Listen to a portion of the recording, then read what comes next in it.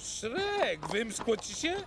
Stary, ty uprzedzaj zanim popuścisz, ja tu się cieszę górskim powietrzem. Wierz mi, ośle, gdybym to był ja, to byś już nie żył.